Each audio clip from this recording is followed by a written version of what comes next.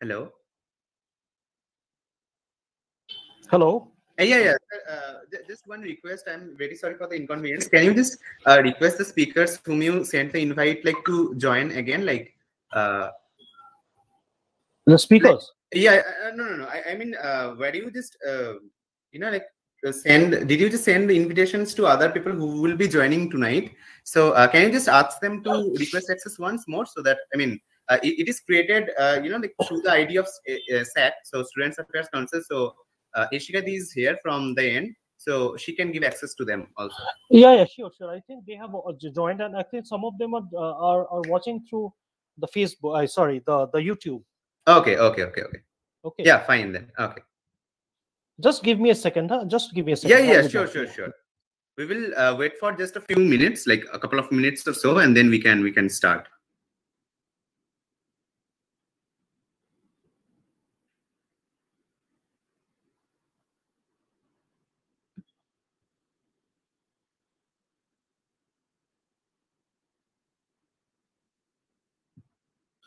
Okay, I'm back. Yeah, yeah. Just a second.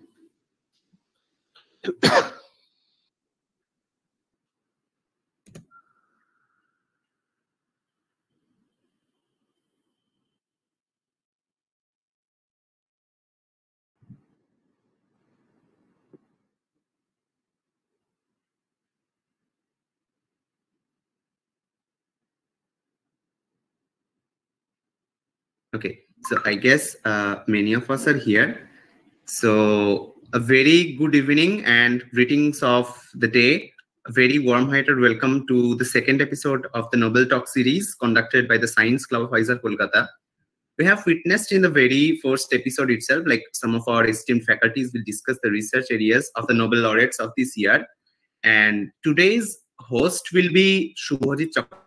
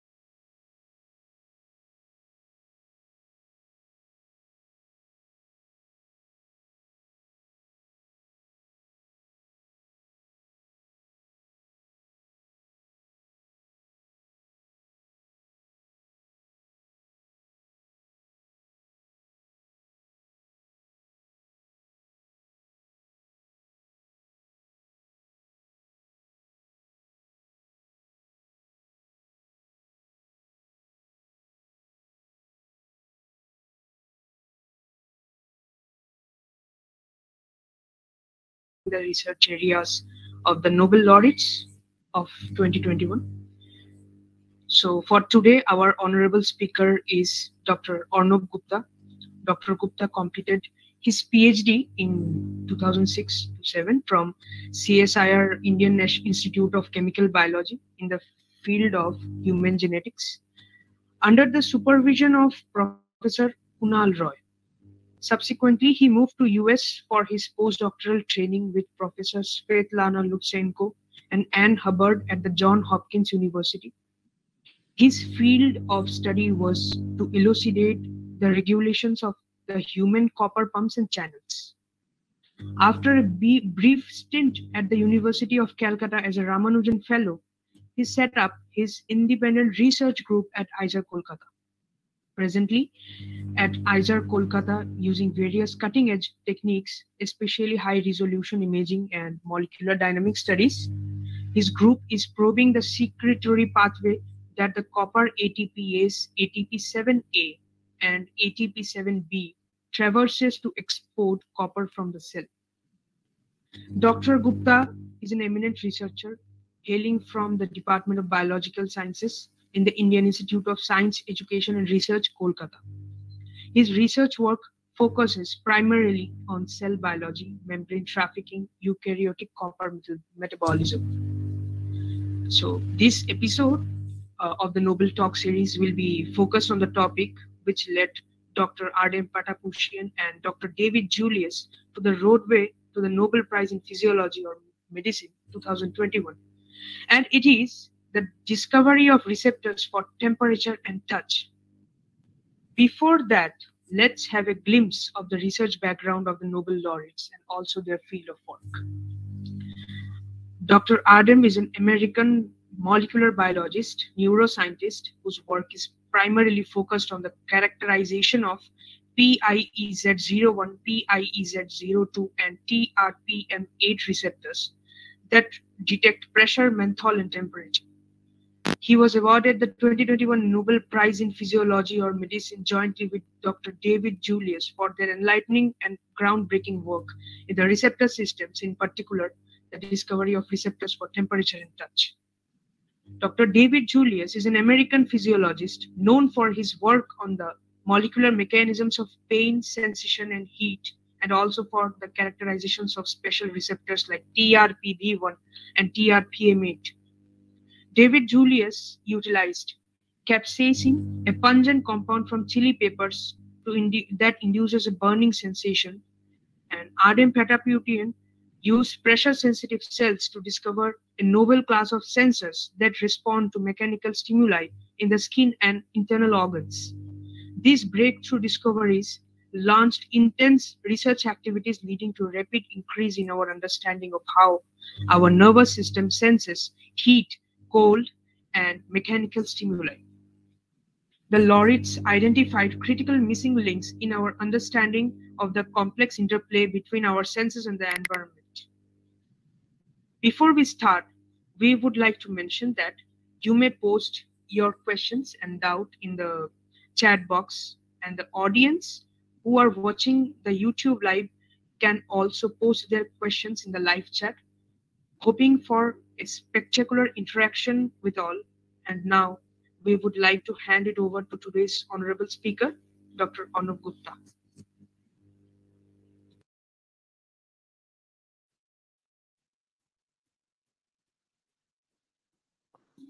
Hello, am I audible? Yes, sir. Yes, sir. You are audible. Yes, sir. You're completely Okay, audible. thank you. Great. I, I'd like you to Uh, thank- request you to just wait a few seconds. The uh, recording is getting started. Okay, so uh, yeah, once the red signal is on, you can you can go on. Yeah. Sure, sure. I can see that. Yeah, the recording is getting started. Right. Yeah.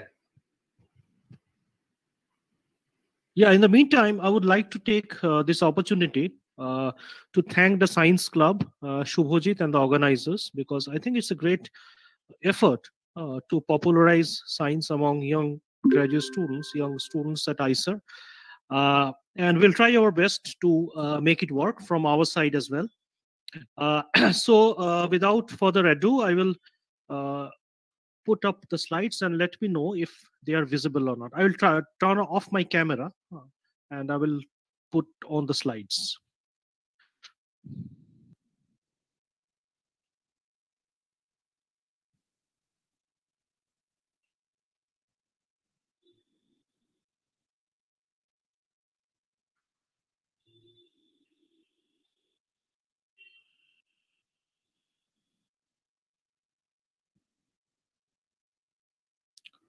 So Shubhajit, can you see the slide? Yes, sir. Anybody? Perfectly visible. Okay. And is it is it in full screen? Uh, no, sir. I guess. I just no. put it in full screen. I don't know. Uh, one second. How about now? Not yet? Uh, no, sir. Not yet. Shantan, can you once just confirm if you can see it on full screen or not?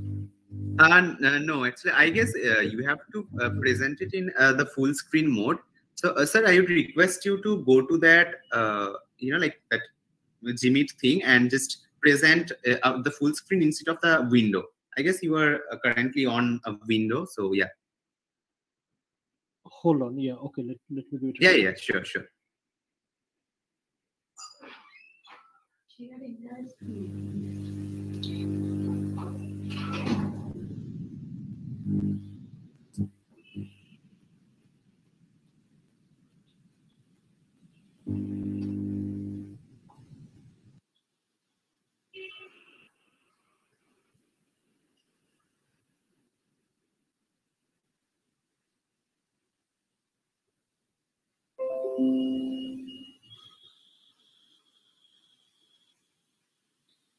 Is it in full screen now?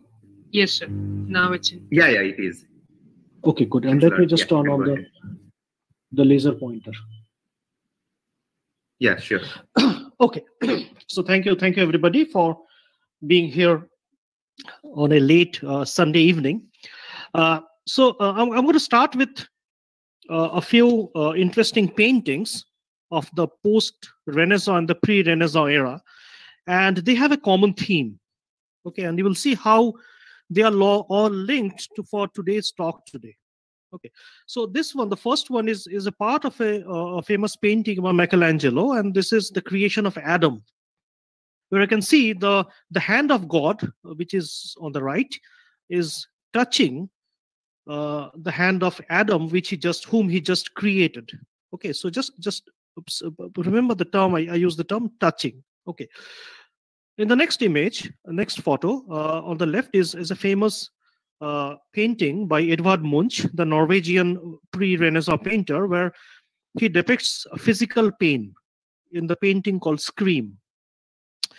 On the right, uh, it's uh, by Rubens, 1612, uh, Prometheus Bound, where uh, Prometheus, a titan, is being punished by God for bringing in light or stealing light and fire from heaven and bringing it to, to the earth. Uh, to giving it to to the mankind okay? So he is punished in a way uh, an, an eagle is tearing up his abdomen and eating his liver. And as soon as that act is completed uh, his liver regenerates. And again this act is repeated where the eagle comes again and tears off his abdomen and eats his, eats his liver. So this keeps on going and this is one of the best examples of physical suffering the third one is a famous, a very famous painting, uh, Guernica by Picasso, where he uh, depicts the the the suffering, uh, the physical suffering, which is elicited by war. Uh, in 1937, the the small town of Guernica in Spain was completely shattered by German bombing, and people died by various ways, by dismemberment of bodies, by burning. So it was a it was a very uh, sad but a holistic view of physical pain. Okay. So if i may ask you now what is the common thread that that joins these four paintings? You can think for a while and i'm sure you will answer that pain physical pain and the touch from the first one they form a common theme for these paintings isn't it so it's it's very evident that for for many years for for thousands of years for centuries the mankind has been very interested in understanding the physical nature the biological nature of pain. But over the last 30 years or so, it, it has they have started to appreciate the molecular biology or the physiology of pain, how pain uh, or how touch is perceived by humans or by by animals. It can be uh, pain because of some something hitting you or because of uh, something cutting you or even because of fire or heat or too cold okay so that brings us to today's uh, title of my talk uh, is the touchy-feely aspects of human perception and the five photos that I've shown over here a cactus being uh, uh, uh, uh pricking a finger, a fire, the, the, the feeling of cold, uh, by touching the ice and there's some chili peppers as well and uh, three leaf leaves of mint. So i can i can promise you they look a bit bit strange and uh, disconnected but at the end of the talk you can appreciate that they are all connected very closely. So let's talk about the touchy feely aspects of human perception uh, well uh, if if i just talk about uh, this year's Nobel Prize, as as Shubhajit uh, mentioned, that it went to Ardem Patapoutian and uh, David Julius. So I will I will be doing a, a, a disservice to the long line of research that has been conducted for many centuries to understand the biology of touch. So in the early 16th century, uh, the famous French philosopher René Descartes he was the first to hypothesize that uh, there are receptors. Well, he didn't use the term receptor. He said that there are things on the skin of man which can sense change of temperature or pain or physical pressure and there are things which carries this message he used the term message which carries this thing this message from the skin to our head. And this probably goes through the back of our body. So, and and uh, Rene Descartes, being a very smart and one of the most brilliant minds of the last thousand years, he was absolutely right, although it was a hypothesis. He have used the term things and uh, possible head and possibly it passes through the back of our body, but uh, he was absolutely right because we now know that the things that that that receive the pain or sense the temperature are called receptors. And the things that carry this message from the skin to the back of our body is called the nerve.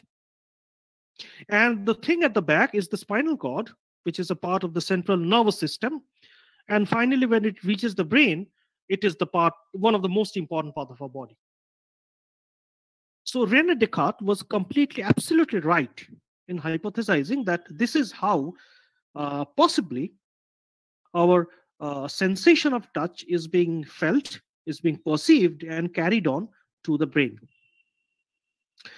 And uh, fast forward 300 years, actually 400 years possibly, 1944, uh, the two young students, uh, Joseph Erlanger and Herbert Gasser, both were doctors and were trained at Johns Hopkins University, and I, I feel a bit uh, a sense of pride because I was uh, I I did spend six years, uh, just over six years, as at the same department uh, at Johns Hopkins. So they studied medicine over there, and they were the first. Erlanger and Spencer Gasser were the first uh, to explain that there are sensory nerves that can differentiate between different type of pain or different type of touch. And there are different regions in the brain which are responsible for the perception of this pain because of a physical stress or uh, by pressure or because of cut or because of change of temperature and they did win the nobel prize in 1944 in physiology and medicine for their discoveries relating to the highly differentiated functions of single nerve fibers so I will, I will not use uh, too much jargons because I, I completely appreciate that in the audience there will be uh, students and and uh, my my colleagues who are not from biology background. So I'll try to keep it as simple and as lucid as possible. So have a look at the right picture. I'm moving my cursor. So this is the, the receptor or it's a protein molecule. I'll be talking about it a little more, uh, more in the in the next slide. So let us think these are some big protein molecules which are sitting on the membrane of our skin. And these are called nociceptors. Noci means pain, and these are the pain receptors. So when they receive the pain, when they are, are inflicted by some pain, they carry the pain, they sense the pain and carry it, the, uh, the, it, it via chemical messengers by the nerves, which is called the afferent nerve fiber. And these are sensory nerves. And that's it. This is the end of the peripheral nervous system. Then it reaches what we call the central nervous system. And the central nervous system, the part of the central nervous system which is responsible to transmit it to the brain is called the, the spinal cord. And this is a cross section of the spinal cord, and the message climbs up through the central nervous system, your spinal cord, and finally it reaches the thalamic region of the brain. So I will not, uh, I'm not going to discuss what is the thalamic region or what is the cortex of the brain, but just remember that these are the specialized regions of the brain, the mysterious brain, which can tell you, well, this is a cold touch, or this is a hot touch, or this is, I feel pain because I just uh, snapped my finger with a blade, or this is a pain where you have pricked me with a needle. Okay, so the regions of the brain or the subregions of the thalamic region decides how to label the pain is it a heat pain or a cold pain or a cut pain or what what type of pain? But make sure none of these are mental pain. These are all physical pains. Okay. And this year's nobel prize if i may this is the region which has been concentrated which these two scientists david julius and ardem patapoutian they have been concentrating on identifying what are these receptors the nociceptors that we call Okay, so on the left is the nerve ending. Okay, and on the nerve ending, you have different type of receptors, or you may also call them channels. So I'll just name a few of them. It's written over there: P2, uh, P2X3, uh, TRPV1, uh, AI, ASIC, piezo. Piezo means pressure. Okay, piezo means pressure in uh, uh, Latin. So there are different type of receptors sitting over here. Uh, for example, the TRP receptor, TRPV1, is responsible to send the message of heat. Piezo is responsible to send the message of pressure. Okay, and this is the nerve ending, and they send the message through the through the nerve, and as I told you, it finally ends up in the thalamic region of the brain. Right. now, uh, the question is, I just mentioned these are receptors, or and then I just mentioned these are channels. But I think we should we should know a little bit more about what are what are channels. I mean, what do I mean by channels, and why do they sit on membranes? Okay, uh, I take a little bit of pride to present one of my uh, lab data, which was generated by uh, my very talented uh, graduate student Shumanto. Many of you might know him. Uh, so he's in my lab and he works on copper ion channel. Okay, so I work on ion channels, but the ion which I work on is not calcium or sodium or potassium, but it's copper. So in this cell, uh, in this image, this is a confocal uh, microscopy image uh, where uh, the red uh, stain stains the the cell membrane, and the green one, the green fluorescent, it depicts the ion channel in this case the copper ion channel which is sitting on the membrane. Okay and what it does it it imports copper. Okay similarly these pain receptors they import calcium potassium or sodium. Okay depending upon what type of pain what type of receptor they usually vary between the uh, they usually import uh, one of these three type of uh, ions or it can be more than one but it has to be calcium, uh, potassium, or sodium. Okay, so this is on the right is a very uh, pictographic illustration of the cell membrane. You have the lipid bilayer, which is made of uh, fats, and on this fat you have the proteins sitting and this is one ion channel if i may and these ion channels they can have two conformations they can have an open conformation where it, it allows the ion to pass through and enter the cell. Or it can have a closed conformation where the, it doesn't allow it to it, it, it to pass. Okay. Now what happens when it allows calcium ion to enter? How does it help transmission of nerve signal or the transmission of the pain signal or the heat signal? So what it does this calcium is important to release neurotransmitters say for example you must have heard serotonin. Okay so serotonin can only be released in the nerve and it can only carry uh, itself to the brain with the help of calcium. So i will not go into the detailed mechanism of how it works but just let me tell you this calcium which is entering the cell allows the neurotransmitters to be released and they can climb up the the spinal cord okay from one neuron to the next neuron and finally they end up in the thalamic region of the brain and says well i'm in pain. Okay so that's why ion channels are the first gateway of reception of pain reception or touch reception. That's why so they are very important Okay, so uh, this is uh, David Julius. He is a professor at Uni uh, University of California, San Francisco, and he is uh, uh, Ardem Patapoutian. I, I, I, intentionally put this picture of Ardem uh, because many of my uh, faculty colleagues or even students will appreciate and can guess that this picture was taken absolutely during the lockdown right because uh, the attire that we uh, we uh, use while for, for lectures or presentations or meeting usually it's very sober on the top but you're never sure what's at the bottom. It could be a bermuda or it could be a half pant or pajama okay. So Ardem Patapoutian looks very happy because this was after he won uh, the the mark award just just uh, six months before the Nobel Prize and he was giving a talk okay and it was absolutely during the lockdown. So Ardem Patapoutian is, uh, uh, is, an Armenian by origin. He is from Lebanon, and he is a professor at Scripps Institute. And he comes from he is from a very educated family. His father is a poet.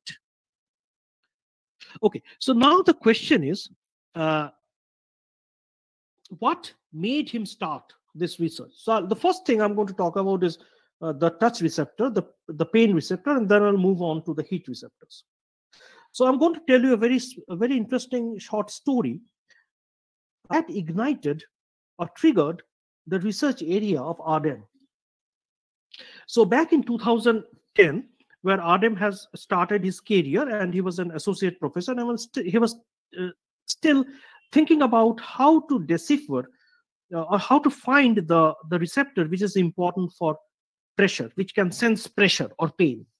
Okay, so he got a phone call from one of his collaborators uh, who worked at the University of Toronto uh, Medical College, so from Canada. So this doctor, his name is uh, his name is Charles Bonnerman. So Charles Bonnerman recently saw a patient, a 11 year old girl, who had a very strange disease. So this girl was unable to move her limbs so in the morning, she's unable to get up from the bed. She is unable to wear her slippers, and she is unable to brush her teeth, or she she's unable to even take uh, uh, take a glass of water and drink it. So she is incapable of carrying out any limbic movement. Okay, but interestingly, that, that can happen. But interestingly, these are all the activities that I mentioned. We usually do in a non-conscious manner. I will not use the use use the term unconscious, but non-conscious manner. So when you wake up in the morning, do you think that well, it's time now I will put my feet on ground? Well, this is the time I should wear my chappals and I should walk to the bathroom, or should I? Uh, this I have decided to uh, take the toothbrush and brush my teeth. You don't do that, right? It's somehow you you know you will be doing it. Okay, so it's, it's you sort of take a very involuntary approach of doing these things. But this girl cannot do any of this. Interestingly, she can only do it if she watches herself doing this. Interesting, isn't it? If she watches, if she sees her legs, okay, if she visualizes her legs, if she sees it, and then only she can put her leg on the ground and she have to constantly watch her leg moving stepping so that she can reach the the toothpaste or the toothbrush and she has to watch her hands picking up the toothpaste and brushing the teeth so that means all her limbic movement is under the control of a visual cue okay so this doctor charles Bönnemann he uh, flew immediately he flew to us and contacted his collaborator Ardem Patapoutian. He was uh, at Scripps at that time. Uh, and Ardem thought, well, this might be a very interesting case. So this is a case of proprioception which has gone wrong. So proprioception is just like nociception. Nociception is feeling of pain. Proprioception is feeling your limbs. Okay, and proprioception is usually carried on in a non-conscious fashion. But if not, if something is wrong with these pressure receptors, proprioception comes under the control of visual cue. That means you have to dictate your hand by your eyes that, well, pick up that glass and drink the water. Okay, so this is where the interest for uh, the hunt for uh, uh, pressure receptors or proprioceptors in parallel to nociceptors started in Ardem Patapoutian's lab. Am I clearly audible to everybody? Yes, sir. You're completely audible. Okay, good, good. Yeah, I do this once once in a while in my class as well. Yeah, yeah, yeah, sure. Okay, so now how how would he how is he going to discover the the the gene or the protein which is responsible for proprioception or nociception? He has been hunting for this for a long time now, but he hasn't a clue till now. Okay, so now it's the time for him to find the protein or the or the cell or, the gene which is responsible for that as a touch receptor. As as it is said in in english colloquia uh, philosophically they are, they will only value your presence when they feel your absence. Right. So this is exactly how we value or we understand the importance of a gene by making it absent. So what we do we knock it out. Okay so what what he did and what it is it is done in in regularly in uh, in the labs of cell biologists and molecular biologists and i also do that we knock down cells uh, sorry we knock down genes by using techniques called homologous recombination. I'm not going to go into that go into that. Once you knock a single gene you measure the phenotype or the expression or how what happens to the cell. Okay. And then if you see that there is no effect on the cell, you discard it. You say, you say that, well, this gene is not responsible for mechanical stress reception. Then you knock down a second gene. And then you do the third gene. And then you go for the fourth gene. And finally, if you're lucky, you will ultimately, eventually, find a gene. If you knock it out, there will be problems of stress response in the cell. Okay, and I can tell you, this is a very arduous process. This is not simple as I just mentioned in, in two minutes. So I have done it in my lab. One of my students is really working hard for last one year, and finally he thinks he has a knockout. So uh, postdoc, uh, seen over here, is his name is uh, Bertrand Coste. Is a very he was a very talented French postdoc in Ardem's lab. So one chilly afternoon in December, Ardem was sitting in his office, and Coste came to Ardem's office and said, Ardem, I think we got it. Okay, so Ardem, in one of his uh, talks after the Nobel Prize, he mentioned that this is probably the sweetest one line I have ever heard. And even this is even sweeter than the two o'clock, two o'clock morning, two o'clock call from the Swedish Academy. Okay, so what Coste means that meant that Ardem, I think we have found the candidate which is responsible to measure which is responsible uh, for sensing pressure or touch. So what they did, they found, they predicted that there will be around 200, 200 candidates which might play a possible role in pain sensation. So they knocked them one at a time and they measured the current. As I've told you, these are all ion channels.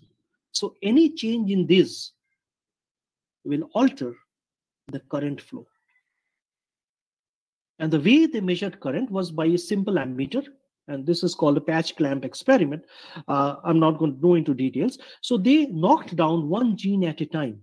And they found that in their 72nd candidate, they couldn't measure the current. That means if you knock down this 72nd candidate, the and put pressure on the cell, the current is off. That means this gene or this protein was was was responsible for sensing pressure, and what it did in turn, it sensed pressure and it allowed ions to pass through it.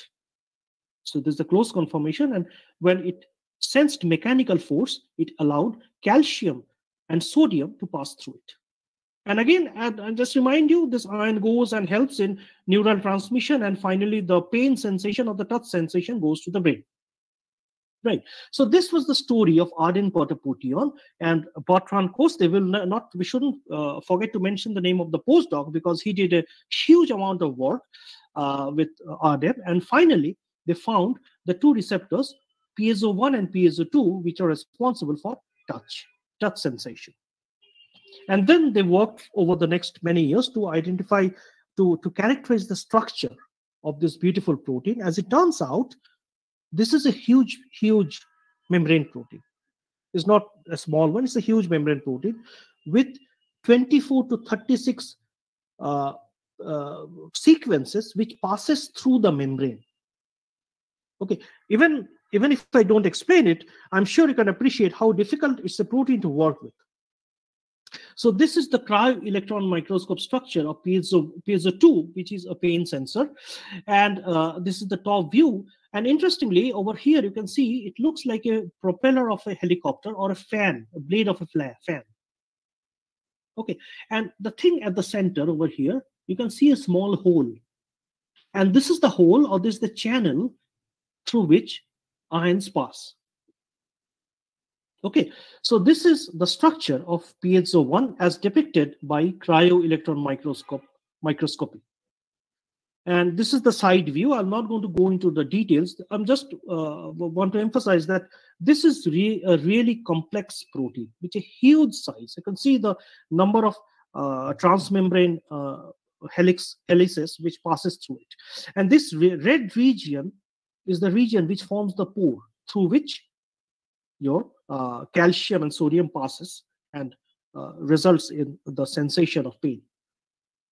On the top is the propeller, which you just saw in the electron microscope structure. So this propellers uh, forms a selective selectivity, provides some selectivity to allow calcium and sodium to pass through it, but not other ions. Okay. And this is a side view. And when the membrane bends because of pressure, this channel opens and calcium and sodium gushes in. Okay, so this is uh, the, the, the short story of the discovery of the piezo1 and piezo2. Uh, and now they have been working on this and many, many other groups as well who was trained in Ardem's lab, they have continued working on this and they're trying to understand, are there any agonist or in, uh, antagonist chemicals which could be discovered which can block pain. Because if you can block these pain receptors in that specific part of the body you can stop having pain. So this is the propeller structure uh, of, of, of the uh, of the protein which i'm not going to go into details. I'll just give you one simple example of how it works. One of the best example is migraine. So migraine attack uh, I, I, believe I imagine some of you might have suffered from migraine, and it's very unfortunate because although it's not very dangerous, but it can be innocuous.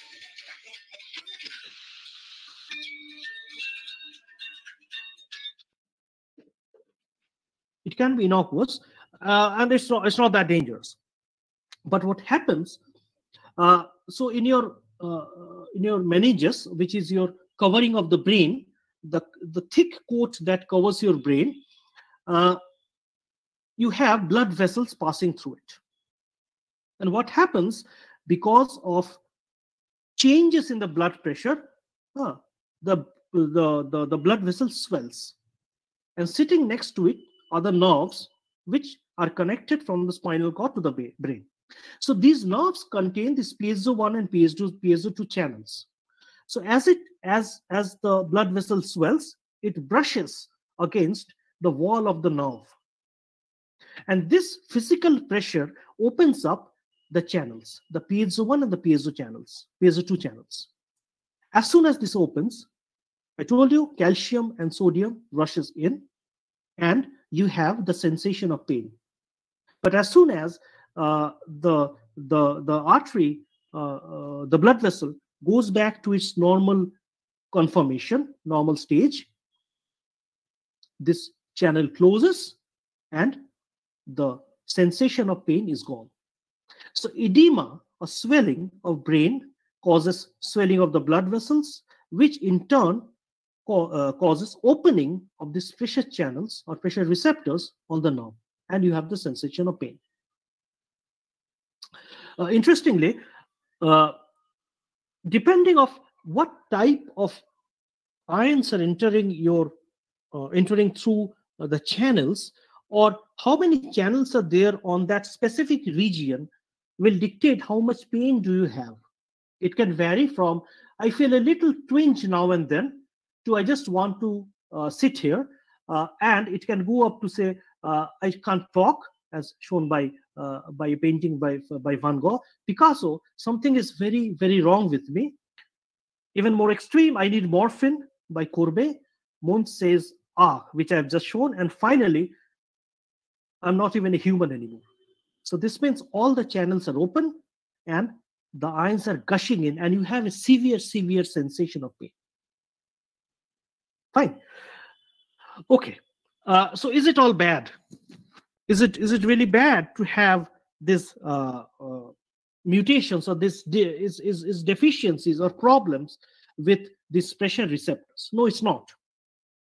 There are very interesting cases where uh, in, in population in Africa, in, in, specifically in the regions of Kenya, Tanzania, and uh, uh, the horns of Somalia, there are some indigenous population where the piezo1 gene has got a defect. I'm not going to discuss how what is the defect and how it works, but just remember this piezo1 gene, which is responsible, which is responsible to uh, to measure pressure uh, or feel pressure, is is is defective. Okay, and piezo1 is present or is present on the red blood cells of our blood or RBC. Since they cannot feel the pressure, RBC or red blood cells doesn't know how much water to carry within itself. So it usually becomes shrunk, it shrinks. Okay, and since it shrinks, malaria parasite is unable to infect this RBC. Right. And since malaria parasite is unable to infect this RBC, you don't suffer from cerebral malaria or even simple malaria. But interestingly, these dehydrated RBC, they can normally carry oxygen. So these individuals, although they have uh, they have a a protection against malaria because of this piezo1 problem, they don't have anemia. Or they, their, their, their RBC, their hemoglobin level is pretty close to normal. So in a way, in some sometimes because of evolution and selection, uh, even mutations or, or problems in these pressure, uh, pressure sensing channels can be a blessing. So this is a very interesting uh, case where, again, this study was done by Ardem Patapoutian's group, where they have found that these populations, specifically in, in Africa, and some of them are in West Africa as well, they have a protection against malaria and specifically cerebral malaria because their pressure channels are not working. Okay, now I'm going to switch gears and talk about a little bit about uh, the first uh, individual whom whose uh, photo I showed. His name is David Julius. So David Julius's uh, career was, was, was similar, but he started 10 years ago. He's 10 years uh, older to Ardem. So David Julius started his career at, at University of California, San Francisco, and now he is the chair professor of the department. So David Julius had a different type of problem. So David was trying to find out how we sense heat or cold. But the problem he faced, a big hurdle, that the cells that he were using, that we use in the lab on a regular basis, say uh, we use HeLa cells, you must have heard of the name, you cannot heat these cells up. I mean, you cannot put high temperature in these cells because your cells are going to die immediately. Okay, your cell membrane will be ruptured. So the problem he was facing was in, in his experimental planning or in his experimental technique where he cannot, where he couldn't heat these cells up because he was trying to identify heat sensors. So he was walking down and, and, and what happened? So uh, he was constantly thinking about how can he solve this problem and start his experiments so that he can discover heat sensors in cells. So he has been thinking this, it has been rolling on the back of his mind continuously as, as it happens for all scientists. So he was walking down the aisle of a supermarket and he had sort of an epiphanic revelation where he thought, when he was passing through uh, the aisle of the red chili peppers, he thought that when he eats chilies, he gets a sensation of burning. So the heat of chili is very similar to the heat of fire. And then he thought, if he drinks hot tea and then he chews on a red chili pepper, the heat becomes more intense. And lo and behold, he started using the extract of chili pepper as a compensatory reagent for heat. So since he couldn't use heat, so he found a different way of using heat, and that was a, a paste or a powder of red chili pepper. Right. So he, he used that, and again by uh, the knockdown screening, which I which I mentioned in, in in in the last few slides, he discovered a gene, a protein, which he called TRP, TRP. Okay, so TRP is, uh, well, he discovered the gene, but he found that earlier, long ago, uh, this protein has been all, already implicated in vision. It was first discovered in Drosophila, that means fruit flies, as a protein which is important for vision, and it's called transient receptor protein, T, transient receptor potential TRP. And he found that this TRP1, so it's a big, big, uh, it's a big family of multiple TRP proteins, and this TRP1 protein is responsible to sense the heat of chili peppers, and he called it trip one. Then he purified the chili peppers and he found that a chemical called capsaicin, which uh, mentioned in his in his introduction, capsaicin was the active component of chili pepper which which opened the trip channel and uh, let the ions in and that triggered the neuron neuronal transduction and we could sense heat and that was the same by which we could sense heat by fire and heat by capsaicin and a similar heat by wasabi or mustard, the pungency.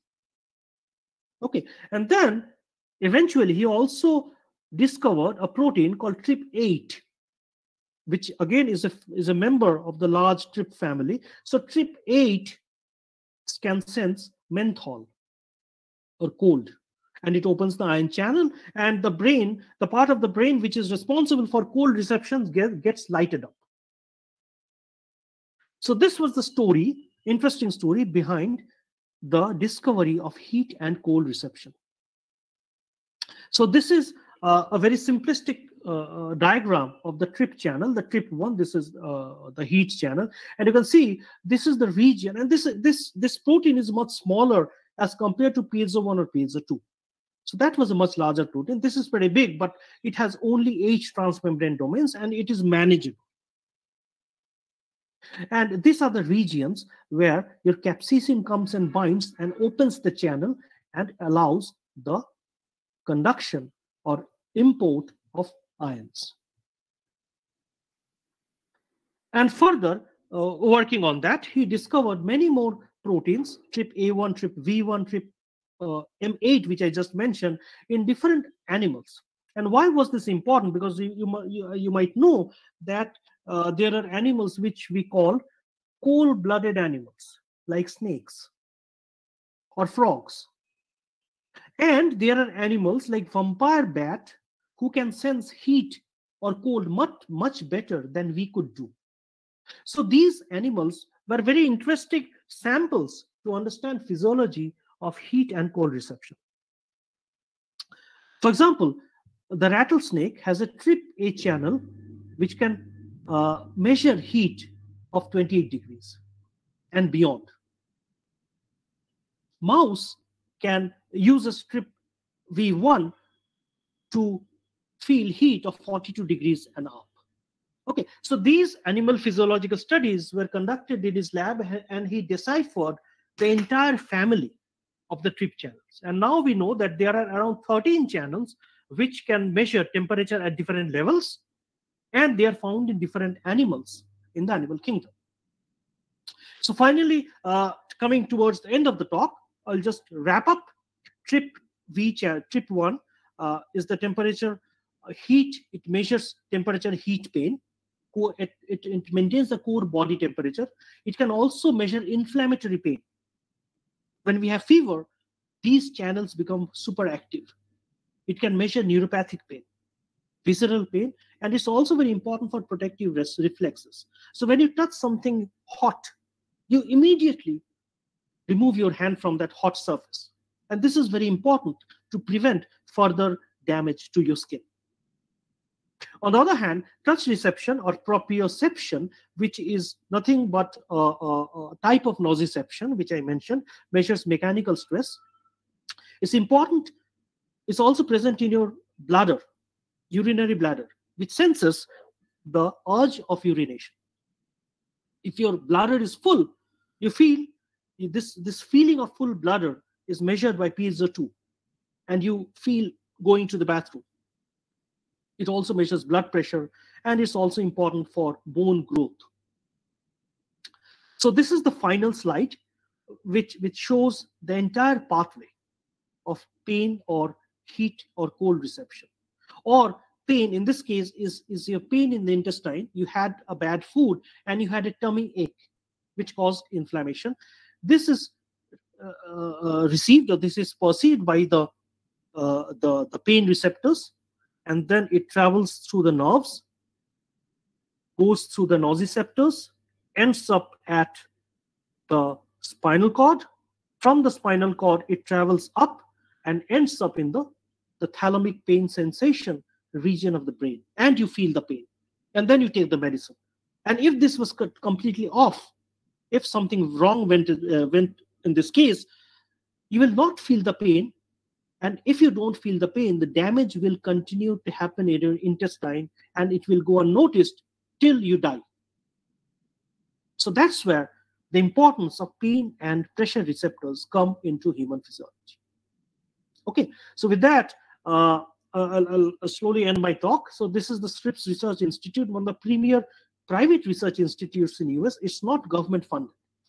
And this is a very good example where how the private research institutes can play a very important role in discovery. And let me tell you, they are not uh, uh, uh, non-profit. They do profit a lot because they have spent so much money and effort on basic research that now they are discovering medicines and drugs and they are making huge profit.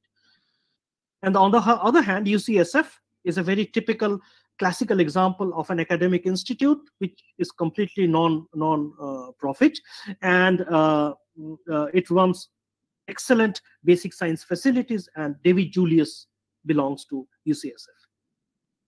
With that, I will thank you and just I'll show you uh, two, two very interesting cartoon slides. Uh, the first one over here are the uh, the membrane uh, membrane proteins.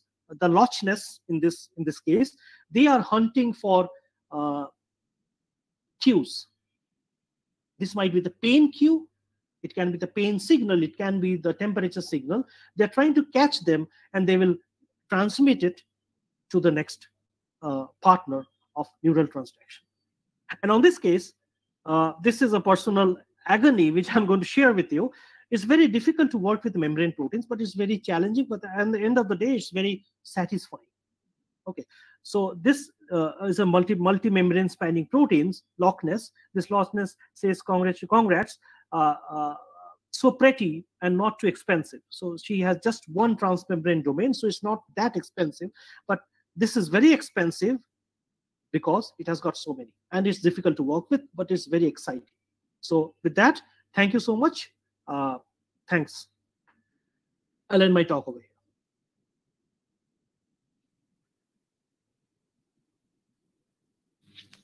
Uh, thank you very much, sir, for such an enlightening uh, talk. Uh, it was wonderful to hear from you. So now the floor is open for the audience. Uh, you may post your questions and doubts in the chat box. And uh, I would like to request the audience watching us from YouTube live uh, now can also post their questions in the live chat if possible. Then uh, we would like to address them one by one. Yeah. So or, or, or, one more thing uh, before you proceed, Shubhajit. Uh, yes. So yeah, I'll, I'll, be answering questions obviously, and, and I would love to do that. But if there are uh, uh something more in details, you would like to know, please email me. And I, I believe you all, you all of you have my IISER email address. So I'll be more than happy to answer them over email as well. Okay, so thanks a lot, sir. So I would like to request Shayantan if you, if he has to add anything more to it. I would like to hand him over. Yeah, thanks a lot, Shubhajit. First of all, uh, you know, like uh, we would like to convey uh, our heartfelt vote of thanks to today's speaker, our respected sir, Dr. Gupta, for his kind time and consideration in his amazing talk.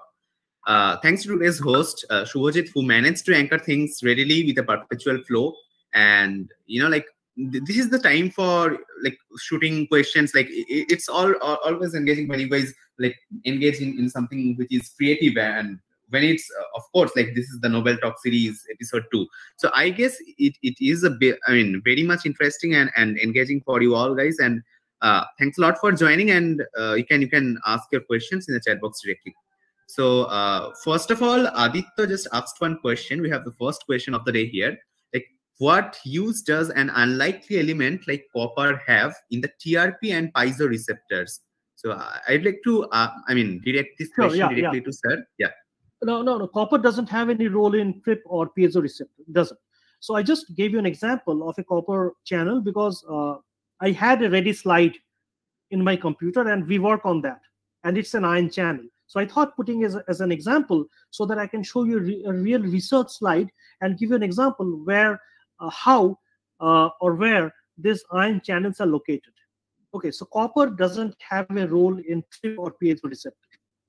Okay but it it is a very similar uh, uh, the the copper channels they are very similar to trip and piezo receptors because they are also ion channels. Okay should i go to the next question yeah yeah sure sir. Uh, uh, srinivas adi sir can you give us an idea on how the influx of the ion sends the signal to the brain? Yeah this is a very interesting question. Uh, well what it does uh, these ion channels, uh, uh, these ions, specifically calcium, and to a certain extent sodium and potassium, they help in fusion of vesicles which carry the neurotransmitters with the synaptic membrane. So synapse is the region where the cell dumps it neuro, its neurotransmitter, which can be taken up for the next cell and which can be dumped at the synaptic uh, cleft, which can be again next taken up by the next cell. So it's like a relay. So this relay of a signal which passes from one nerve to the next nerve and to the next nerve and finally to the brain, this is controlled by these calcium ions because let me repeat, it helps in fusion of the of the vesicles or the bodies which carries these neurotransmitters. Okay. I guess the question is answered. Yeah. So you guys can also speak up if you require. Like, uh, uh, I guess that it will be of no issues if they can speak. Uh, and yeah, yeah, absolutely, absolutely. Yeah, absolutely because we just we want would- more interaction. Yeah. Sure. Yeah, we would request you people to uh, unmute yourself and ask the question. That would be interactive. Yes. Yeah, Saran, uh, you can now go to the third slide. I mean, Okay. sorry, third question. question. Yeah, sorry. Yeah. Uh, well, that's a very interesting question. Ujwal asked me, what about the Himalayan monks or people who live in extreme climate? How do the pain heat receptor work for them? Well, since we are mammals, uh, we do maintain a constant body temperature. Okay, and uh, uh, about the monks, uh, I am not sure I am equipped well enough to answer that question. But yes when you when you when you go to higher elevation or when you move to a colder climate or when you're walking down the snow you can feel the the temperature the the, the freezing temperature. And that's how you that's when you have to act accordingly you have to wear a sweater or you have to wear a cap. Okay. So this uh, this this discovery was about elucidation of how we sense temperature. May it be cold or hot okay but coming to your question about himalayan monks uh, I, I am not sure i can answer that. Okay okay so the next question is by odrija in the slides regarding heat receptors there were mentions of apparent threshold temperature for these receptors above or below which they get deactivated. How were these threshold temperatures determined? Oh that's a very good question. So these threshold uh, uh, temperatures were actually not determined in experiments.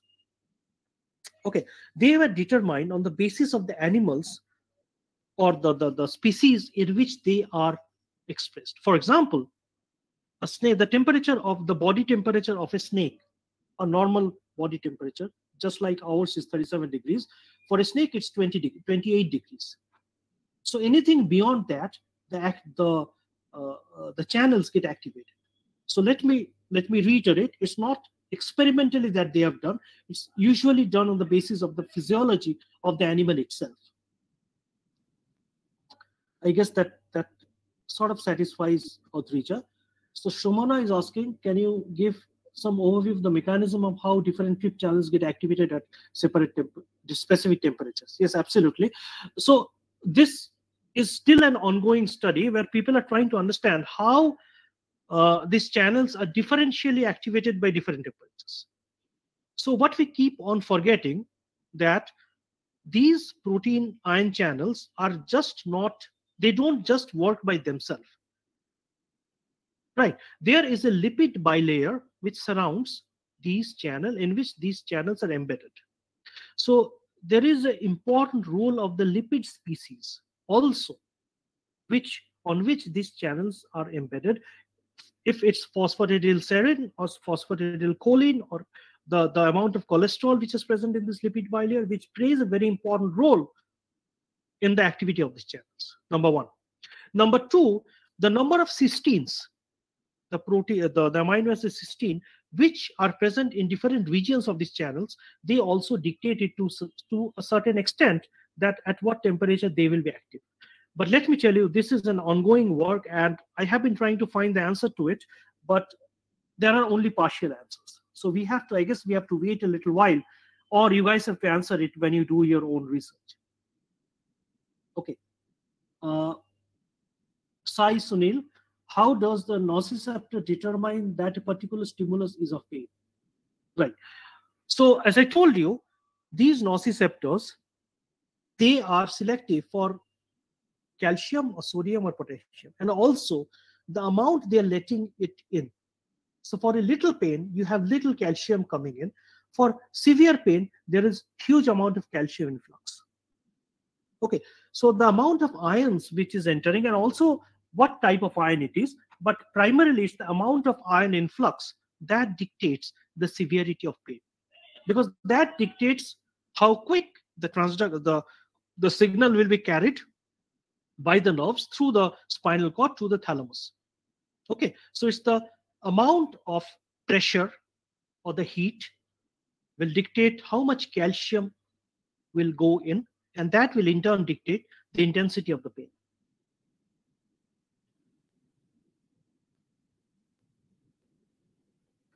Certain people so Srinivas has said thank you, thank, thank you so much as well. So Aditya is asking, certain people have inborn mutations in these receptors. What procedures or steps do they take to live their lives? Well, these mutations are not that common. So uh, you will not find uh, too many people with these mutations, but uh, there has been a search for medicines and drugs which can act as agon uh, antagonist for this for these channels. But unfortunately, agonists has been found, but not antagonist. So Scripps Research Institute is spending a lot of effort and money to discover these small molecules which can act as antagonists for these receptors. But let me tell you, there's a problem with this as well. So these receptors are expressed sort of in all tissues. So if you take an antagonist, that will block your reception of pain for all for the entire body. And that's the problem. So you have to have selectivity or topical selectivity. So that is still something which scientists are working and trying to understand. Okay, so it's an ongoing process. How do different ions like calcium or sodium convey different messages during, this is again Aditya, how do different ions like calcium or sodium convey different messages during pain reception for the nociceptors? Are these receptors different for different ions? Yes, yes, there are uh, uh, subtypes of these channels. But uh, for example, for PIEZO1, it is a non-specific channel. It allows calcium as well as sodium, but calcium to a much higher extent. But if you ask me about the selectivity, we don't know. Again, that's an ongoing study, and hopefully we have to wait a little bit to understand about the selectivity of these channels. Okay. Any more questions? We do. Right.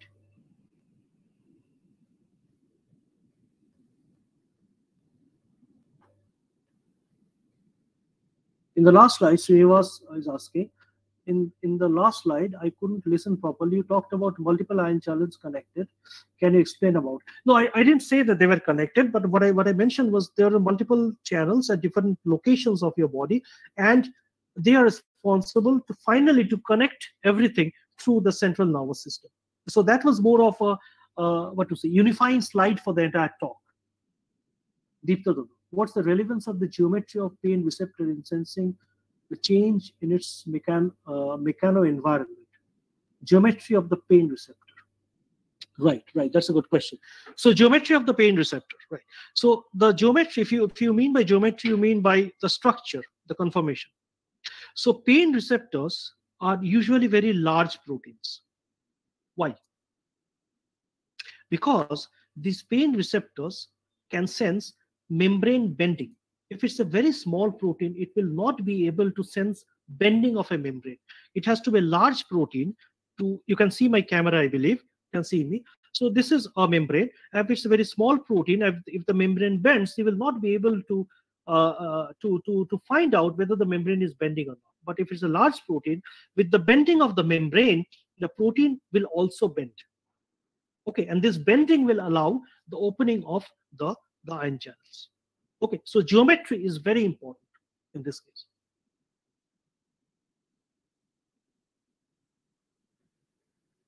Okay, so I guess this is, there are no more questions. Uh, I would, okay, so there's one more uh, I have to rush a little bit because I have a talk at 7.30. Uh, so is ca in cancer, does the increase in cell causes the activation of piezoreceptor? Well, that's a very good question. Uh, mm, if, if you see the recent uh, paper in 2020 uh, from Ardem's lab, so they have tried to understand uh, what's the role of piezoreceptors in cell-cell contact. Okay, and they, if I'm not strong, they have discovered that the piezo receptors on cancer cells are much more in number as compared to normal cells.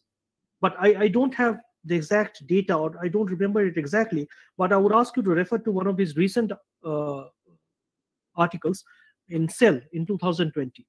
But I think that's a very good question, and I also need to look into it.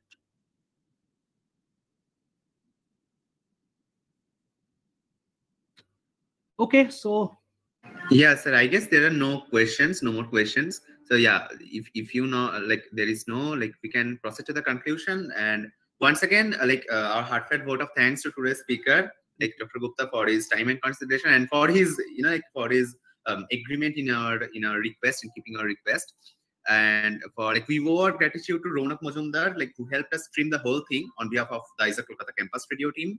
And last but not the least, thanks to thanks a lot to all the audience members for joining. So I guess we can wrap it up and we can stop the recording as well. So thank you, thanks uh, the Science Club, and it was really a big pleasure for me, and uh, I hope you enjoyed it. So thanks from my side. It's a privilege. Thank you so much. Thanks a lot, sir. Thanks a lot. Okay, guys, thanks a lot for participating in the event.